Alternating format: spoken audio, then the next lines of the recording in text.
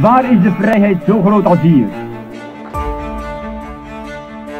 Waar blijkt de katholiek er zoveel prijs op te stellen dat van die vrijheid gebruik wordt gemaakt? met een blij een eigen sterk te hebben.